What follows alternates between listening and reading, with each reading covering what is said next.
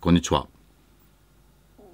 今回は現在私がインクを入れて常用している万年筆。これらをねちょっとご紹介させていただきたいと思います。で全てですねほぼ全てですね。はい。あのすでに動画でね、えー、ご紹介したものばかりなんですけれども動画でご紹介した時には例えばえインクをね実際に、え吸入したりあるいはカートリッジを挿している状態ではなくてですね、えつけペン的に書きましたので、その後使ってみてインクフローはどうだったのかとその辺りなんかも含めてね、おさらいできればなと思って四半期に一度ぐらいですねこんなのちょっとやりたいですね。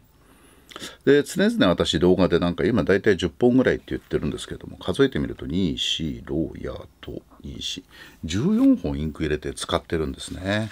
はい。ということでね、中には本格的にもう毎日毎日使ってるのもあれば、えー、無理して、言葉悪いですけれどもね、えー、ペン先を鳴らすためにね、1日に1、2回使ってるようなものもあるので、はい。そのあたり、ランダムにご紹介していこうかなというふうに思っております。で実は一番あの使用頻度高いのはこのキャップレスですね。はい。というのもですね、これはですね、今ケースがないんじゃなくてですね、こう、うちにね、ちょっとこじゃれたね、ペンスタンド一本差しのやつがあるんですけれども、それにポンポンっていつも立ってるんですね。すぐパッと手に取れるように。で、使い方としてはですね、もうこれの場合はもうズバリこれですね。はい。あの、ブルーレイにね、つける、あの、インデックスですね。はい。何のタイトル録画しましたよ、みたいなやつ。その時にですね、例えばここのところにですね、これはもう役者さんごとに、あ、いや、ジャンルごとにこう、例えば、えー、洋画と、こう書くと。はい。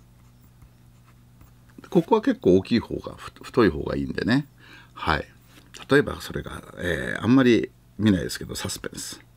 あ見るか、サスペンス。ね、筆圧を気にせず書くと。この時ちょっとパッとこうね、非常にやりやすいですね。で、こちら側にね、実際のタイトルをね、はい、書く時に、くるくるくるっと書いてね。で、ここで、はい、バツバツバツバツと映画のタイトルを書いていくわけです。えっ、ー、と、昨日を見たのは、あ、そうだ。はい。これですね。昨日は、オットを見ましたね。サスペンスじゃないですけれどもね。いう男っていうのを例えば取りましたという時にはまこういう感じで書いたりするわけですね。とこちらの方は F で細字なんでこういうね、えー、分類っていうあのタイトルの方自体を書くのがいいと。でパッとね見た時にバババッとこのディスク何枚もありますからその時はねこのね中字 M の方でね書いたのがあ全然見やすいということでこちらを使ってるともうズバリこの用途に使えますから結構出現頻度は高いんですね。はい。ということでね、サクサクいきましょう。切りなくなっちゃいますからね、頑張らないときはいけませんね。はい。それからですね、え通常のね、えー、日常の生活の中で大事になるのはこの手帳にね、はい。今もうこの手帳も私あの在宅勤務が多いもんですから、ほとんどですね、この手帳に書いてあるのはトレーニング記録ばっかりです。はい。で、裏写りを見ていただくために、じゃちょっとこの最後のこのページをね、はい、あの使いましょう。でそれに使ってるのはですね、えー、このパイロットのね、えー、843でしたっけ？番号がねすいませんよく分かんなくなりますね。743失礼しました。パイロットのね、えー、743、えー、EF ですね、はい、これをね使ってるわけですね。でこれだとね例えばですねトレーニング記録でねはいメニューを書きますと例えばねはいえっ、ー、とそうですねえー、例えばこうだな。プルダウンとかっていうのがあったとしてメニューでねかける30とかね。で体重は体重なんて書かないですけども丸々キロとかねこう書くわけですね、で血圧なんかも記録してね。血圧この間先週は116のね79とかっていうのが出ましたね。はい。勤務先のね健康診断でやるとね140とか160いっちゃうんですけども家で測るとね運動など120いくつとか。このぐらいこう書いたとしてもですね裏あ結構今強く書いたんで写ってますけど、まあ、こんなもんで済むわけですね。これ普通のですねじゃあ例えばね、えー、この普通のね F とかで書いちゃうと同じねはい。ケツ。116の79なんて書くとね。はい。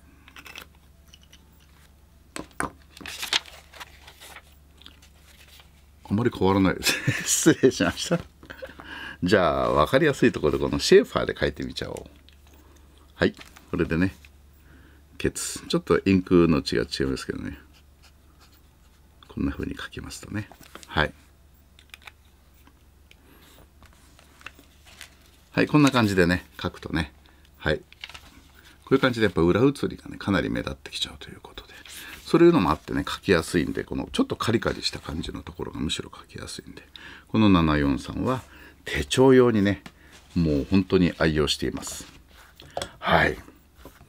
さああとはね楽しい用ペンたちなんですけれども次はね日記用の方をご紹介しましょう。日記用に使ってるのは実は今ねここ数週間12週間だな。シェーファーこれがね実は良かったですね、えー、実際インクはですねこれくるくるくるくるっと。純正のコンバーターにあもうインクがもうなくなりつつありますね。はい。コンバーターにね、えー、インクを入れてね。インクはねこれはねエーデルシュタインインクかなんかを借りてるかな確かね使ってるかなって感じですね。これは実はね非常に実は多少太いんですけれどもね。はい。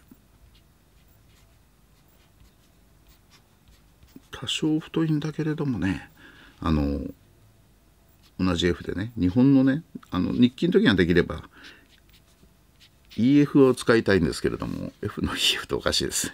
はい。結構ねこれがですね、えー、インクフローがいいですね。良かったですすごく。で割とこう走り書きみたいな感じにね。簡単に言うとね日記を1日分つけ終わるまでにさささっと考えたことを書いていくのに対してですね非常についてきてくれるというところですね。それとこの独特のペン先のタッチ、ね、このシュッて反ってるところですね。この反り具合がね慣れてくると癖になるということでね。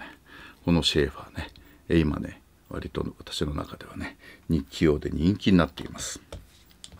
でもう一つね日記用のレギュラーって言いますとですねこれはあのはい、えー、せがれからプレゼントしていただいた74のねはい F なんですけれどもこれがやっぱりねこここの部分のフィット具合としてはですねあの非常に私に合ってるんですよ。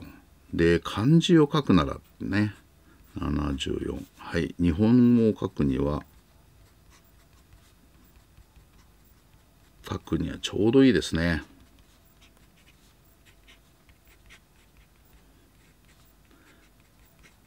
で他のね先ほどあのお見せした743なんかに比べるとフローがやはりいいんでこれもね考えたことをサラサラサラサラって書いていくのには非常にいいです。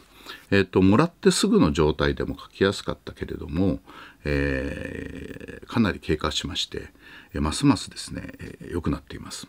で、えー、の以前あの3年日記そのものはお見せしたと思うんですけれども、はい、あの紙でもですねほとんどここにねはい、紙のね繊維が引っかかったりすることはなくですね非常に書きやすいですでこれね、えー、寝かせてもいいですね寝かせてもよし。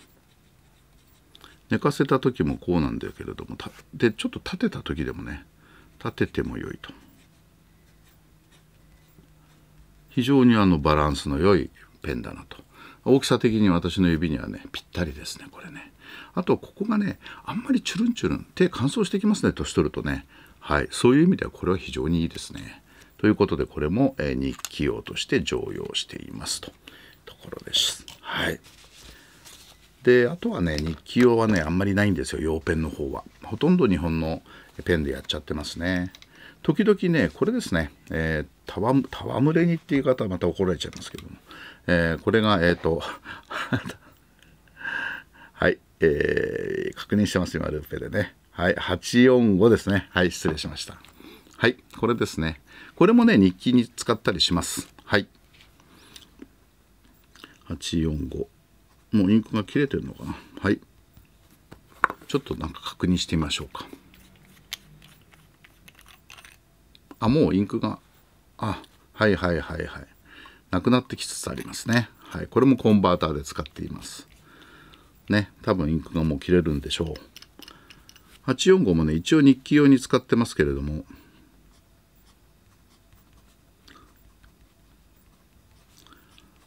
先ほどのね74よりねちょっとね少しねはい、えー、二分が柔らかいです。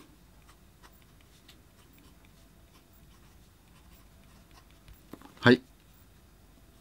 ただね少し字が太いかなって感じがするんで今ちょっとこれもインクが終わり気味なんでほとんどこんな感じになっちゃってますけれどもそういう意味ではねはいこれも日記用には使っていますけれども正直、えーと、先ほどのに比べるとまああのグリップした感じがちょっと違うんでうんっていうところがありますね。あのいいペンなんですけれども私にはもうどちらかというとさっきのこっちの74の方が合うと。私にはですよ。はい。いい悪いなんて言ってるわけじゃないんで自分に合うか合わないかの世界なんで。というのが一応日記用ということですね。はい。それからですね、えー、このペリカンのね800系ですね80系ですね。えっ、ー、とこちらは赤インクかな。これにはですね、えー、これはねえー、構成って言い方変なんですけれども別にあの構成する仕事じゃないんですけれども。はい、えー、何かねプリントアウトされたものをねアウトされたものをこう例えばこうチェックして線を引いたり×よとかね丸よとかねそういうのにねこれは使っていますね、えー、コスモスを入れてます。色しずくの。はい。ぽーっとした感じのねなんかこうほんのりした上品なピンクでね非常に気に入っています。でこれはまあ何て言うんですかね結構長く使ってるペンなんでかなりねこう書き味はいいですね。こんな感じで非常にねスワーッといきますね。はい。さっきこの動画撮る前にねキャップしたままだったんですけども落っことしてしまいました。落っこった後何が起きるかっていうとですねはいこのペンキャップの中にね少しコスモス色がね蔓延してしまったということですね。はい。で、次同じね、80系でね、これはね、あの、なじませるためにね、使っています。これもうインクなくなってますんで、今日ももしかしたら書けないかもしれません。はい。これはね、えー、エーデルシュタインインクをちゃんと普通に入れて使っています。で、モンブランの M800 系ですね、80系ということで。ペン先のね鳴らしで1年ほど使ってるわけですね。非常にねインクフローいいですね。さっきのねあのコスモス入れてたこれもそうなんですけれどもね。はい、えー、今のところえー、っと細字の EF とか F これ EF なんですよ。EF なんですけれども、えー、非常にインクフローよし。というかインクフローが悪いやつってねちょっと1本だけあるんでそれ後でお見せしますね。ということで、えー、使っているはい、えー、ペリカン系はね非常にインクフローもよく楽しく毎日遊んでいます。はいそれからねこれはね皆さんにご紹介してからあまりによくってびっくりしちゃったデュオホールドですね。はいデュオホールド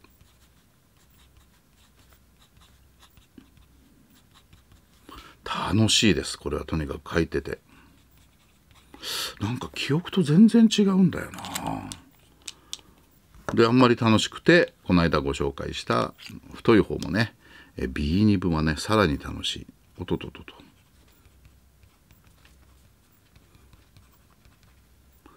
さらに楽しいです。はい。っていう感じでこれはもうね今あの何て言うのかな書く楽しみを味わうためにはい使っていますデュオフォールド。はい大正解でした。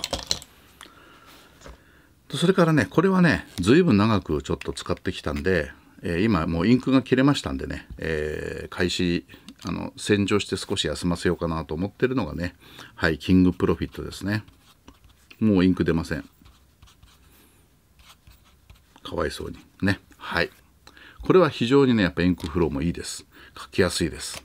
もう言うまでもないですね。やっぱりこれはあの、えー、モンブランの149と同じぐらい私は使いやすいです。で同じキングプロフィットのねはいこれですね。エボナイト軸ね。エボナイトちゃん。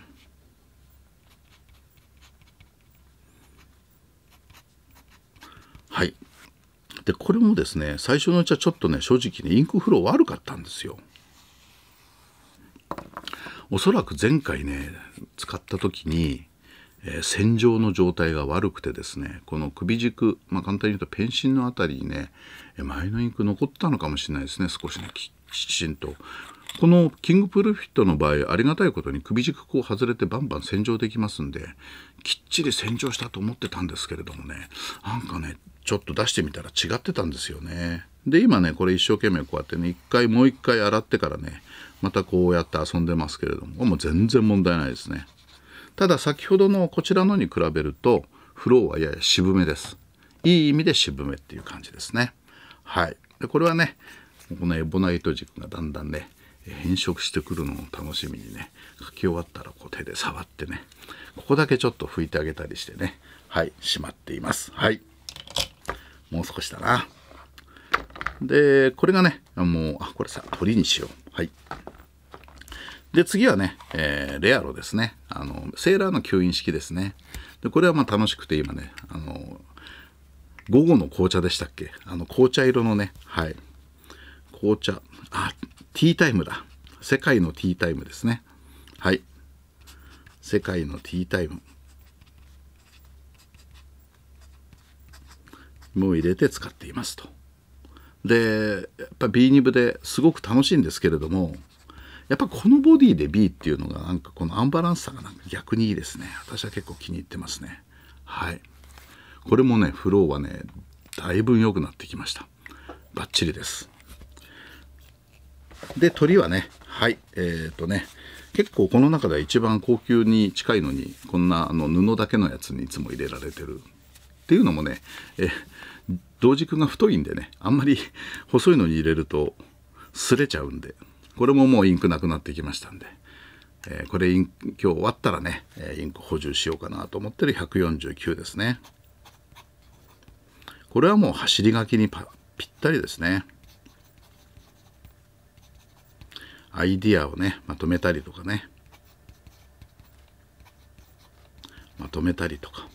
おもうちょうどいいですね。も一番最後使い切りましょう。こんな感じで。